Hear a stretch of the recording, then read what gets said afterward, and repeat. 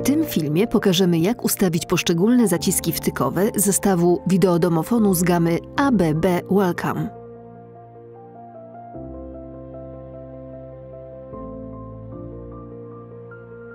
Na początek otwórz stację zewnętrzną, używając plastikowej listwy dołączonej do zestawu. Wsuń ją w szczelinę, naciśnij i przesuń w prawo. Zdejmij listwę ABB i wykręć stację z puszki podtynkowej.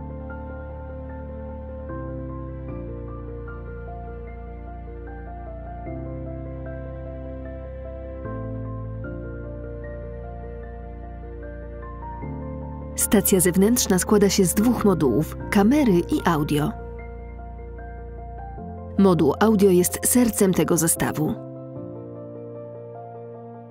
Z tyłu znajdują się listwy zaciskowe A i B, do których należy podłączyć magistrale, aby zapewnić zasilanie stacji i przesyłać sygnały audio i wideo. Z tyłu znajdują się również zaciski wtykowe GND i LOK, zwykle stosowane do furtek z elektrozaczepem impuls 12V. Zacisk wtykowy COM i zacisk NC normalnie zamknięty, zwykle używany do drzwi ze zworą elektromagnetyczną z dodatkowym zasilaniem. Zacisk COM ze stykiem NO normalnie otwarty, zwykle używany do bram elektrycznych ze stykiem bezpotencjałowym. Domyślnie zestawy dostarczane są w następującej konfiguracji. Po naciśnięciu przycisku klucz następuje odblokowanie zacisku wtykowego GND Lock. Elektrozaczep jest zasilany, a furtka otwarta. Za pomocą przycisku 1 sterowany jest styk przełączny NC lub NO, wywołujący komendę otwarcia bramy. Jeżeli instalacja wyposażona jest w bramę z napędem bez furtki, istnieje możliwość zamiany styków, aby móc ją otworzyć za pomocą przycisku klucz.